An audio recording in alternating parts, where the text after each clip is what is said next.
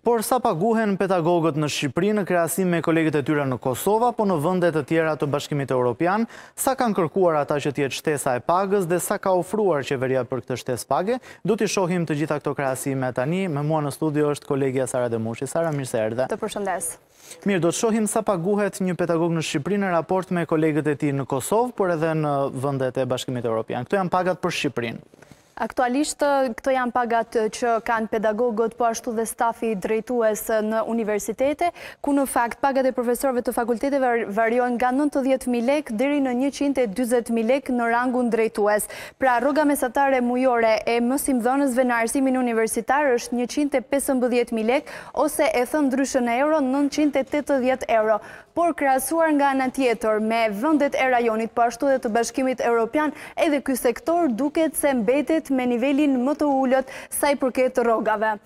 Nëse bëjmë një krahasim me vendet e rajonit në euro për muaj, Shqipëria siç e theksuam dhe më herët është nëntëqind e tetëdhjetë euro, Bosnja Hercegovina një mijë e pesëdhjetë euro, Maqedonia e Veriut është një mijë e njëqind e nëntëdhjetë euro në muaj, Serbia një mijë e dyqind e gjashtëdhjetë euro në muaj, Kosova një mijë e dyqind e tetëdhjetë euro në muaj, Italia shtatë mijë euro, Shtetet e Bashkuara të Amerikës shtatë mijë e gjashtëqind euro, Zvicra pesëmbëdhjetë mijë e gjashtëqind euro. Vlen të theksohet se Australia dhe Zvicra mbajnë rekordin sa i përket rrogave në sistemin akademik me rreth gjashtëmbëdhjetë mijë euro. E qartë, interesante në këto shifra është Kosova. Kosova i ka pagat më të larta për pedagogët se Shqipëria, pra edhe Maqedonia e Veriut, pra vendet fqinje janë me paga më të larta sesa në Shqipëri për pedagogët edhe për stafin akademik.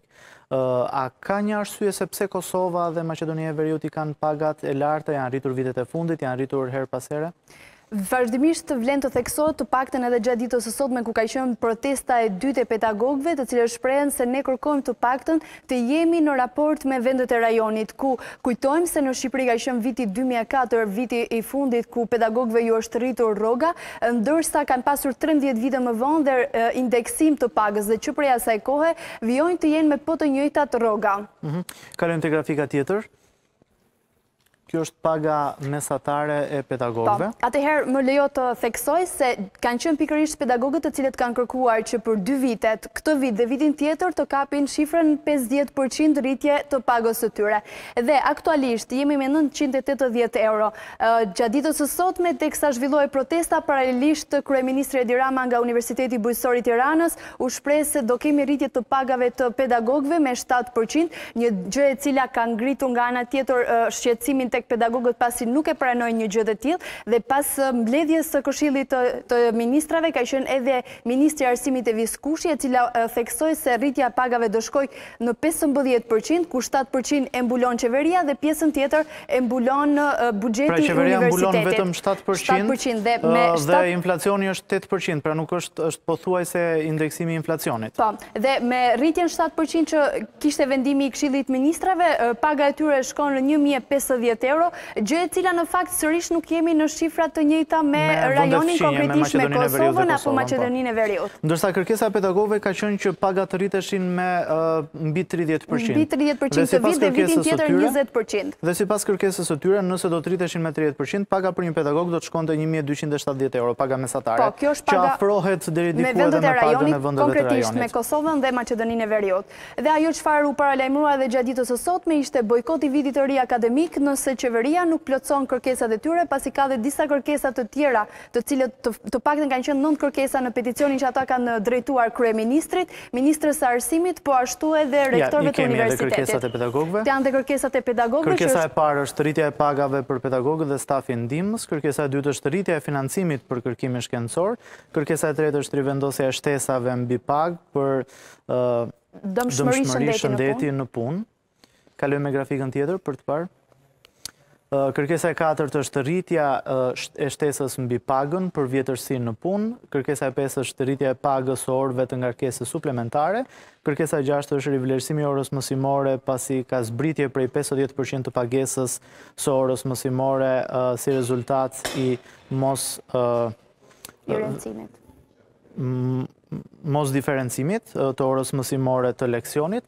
Vazhdojmë me kërkesat e tjera. Kërkesa e shtatë është rishikimi i tatimit prej 23% mbi pagën e ngarkesës suplementare. Kërkesa e tetë është të pezullohet deri në 2026-ën zbatimi i pikës c të paragrafit të tretë të kreut të tretë të VKM-së numër 112 për kriteret e marrjes së titullit profesor dhe kërkesa e nëntë është të bëhet transparencë mbi buxhetin dhe të ardhurat e universiteteve publike. Vlen të theksohet se më datën njëzet e tre shtator një përfaqësi e sindikatës së punonjësve të universiteteve të Shqipërisë kanë zhvilluar dhe një takim me ministren Kushi, por nuk ka pasur një dakordësi sa i përket kërkesave që pretendojnë pikërisht sindikata dhe gjithë pedagogët e mbarë vendit. E qartë. Ata janë shprehur se do të vazhdojë greva nëse nuk marrin përgjigje. Cili do të jetë hapi i radhës? Do të jetë bojkoti i mësimit? Do të jetë një grevë masive? Deri në këto momente është paralajmëruar bojkot i vitit të ri akademik, i cili pritet të nisë më datën shtatëmbëdhjetë tetor, ku nga ana tjetër janë shprehur se mbështetje kanë nga ana edhe të studentëve. E qartë. Mirë, Sara, të falenderoj për informacionet dhe për qartësinë e kërkesave të pedagogëve.